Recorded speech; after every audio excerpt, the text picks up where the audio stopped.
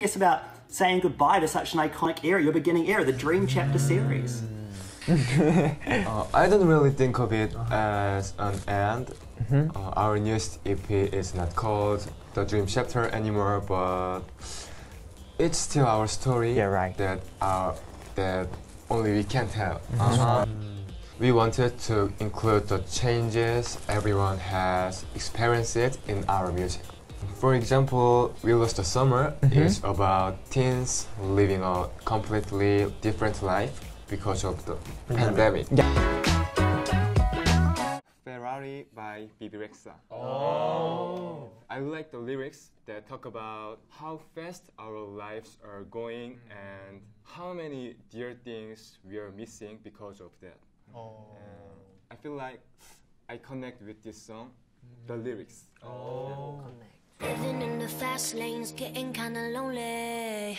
I loved this song even more after I listened to the live version.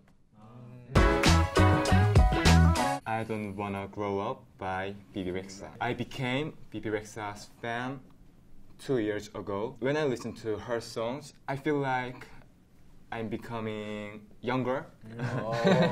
so Love is alive. I recommended this song to people around me, mm-hmm. and they all liked it. Oh.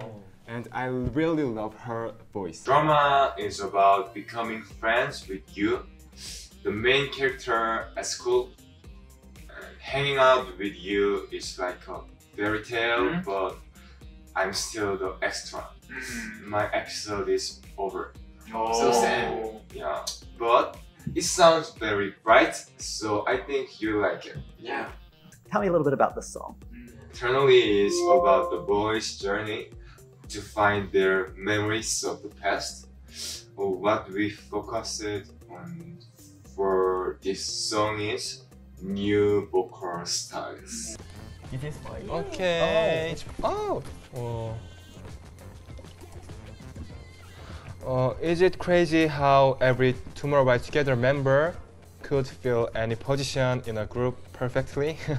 Vocals, rap, dance, yeah.